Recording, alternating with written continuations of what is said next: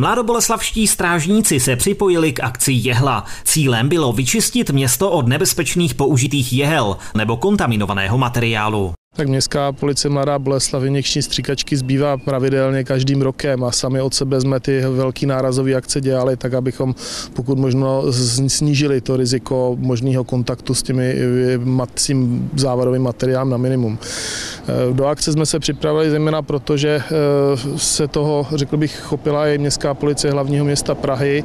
Eh, obecně městské policie spolu úzce spolupracují, takže jsme se snažili nějakým způsobem jednotně do toho aspoň v ten jeden termín jít a obecně všem těm městům pomoci. Strážníci se zaměřili primárně na dětská hřiště a pískoviště, nepřehledná a skrytá místa, málo frekventované stezky, domovní výklenky či okolí mostů. Co se týče Mladé Boleslavy, tak dlouhodobě ty nálezy jsou poměrně vysoké. V uplynulém roce to bylo 735 kusů toho závarového materiálu. Samozřejmě část toho ještě zmizne při uklidu jiným, kterým se ve městě dělá podobně. Takže je to věc, která je důležitá, aby ji strážníci dělali.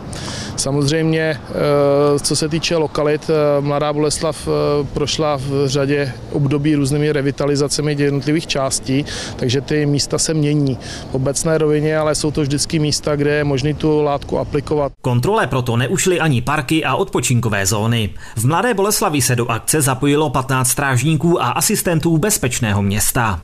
Narkomanů je ve městě stále mnoho, nebezpečného materiálu ale spíše ubývá. Co se týče naší statistiky, tak eh, těch, eh, toho materiálu postupně ubývá, což si myslím, že je jedna z dobrých zpráv, protože v minulosti zhruba před pěti lety to číslo bylo řádově okolo 1500 kusů, takže ten pozitivní trend tam nějaký je. Eh, meziročně jsme tam jistý nárůst měli, ale říkám, závisí to na aktuální situaci. Do celostátní akce se zapojilo více jak 420 strážníků, včetně asistentů prevence kriminality.